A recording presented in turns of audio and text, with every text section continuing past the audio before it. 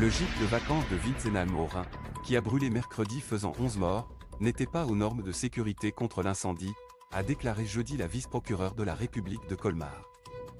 Nathalie Kielwasser.